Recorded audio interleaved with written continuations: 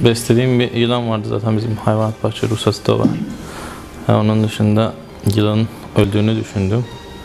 Yani çok hareketsiz duruyordu. Zaten e, sakat bir yılandı. Bir gözü kördü ayrıca vücutta eziklikler vardı biz aldığımız zaman. Yani iyileşsin diye zaten almıştık. Bir buçuk sene bendeydi. Ondan sonra e, hayvanı aldım, yıkadım. Yıkadıktan sonra biraz kendine geldi. Sonra tam kafese koyarken döndü, ısırdı.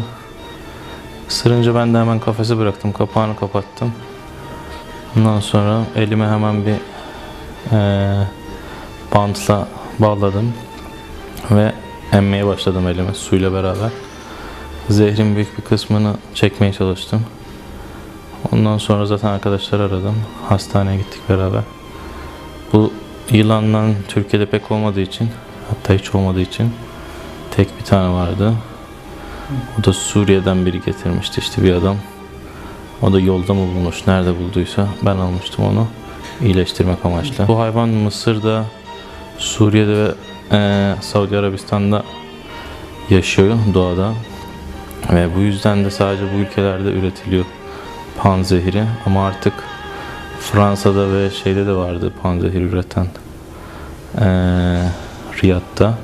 Ama son 3 senedir artık orada da üretilmiyor. Yani sadece dünyada Mısır'da var şu an.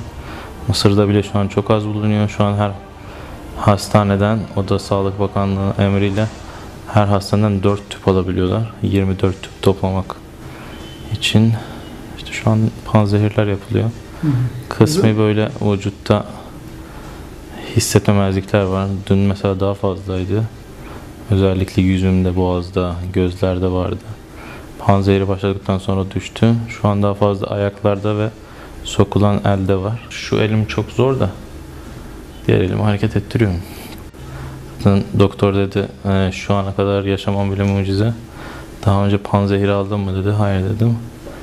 Çünkü dedi genelde ilk 6-7 saatte felç yapıyor. Nefes artık alamıyorsun ve ölüyorsun.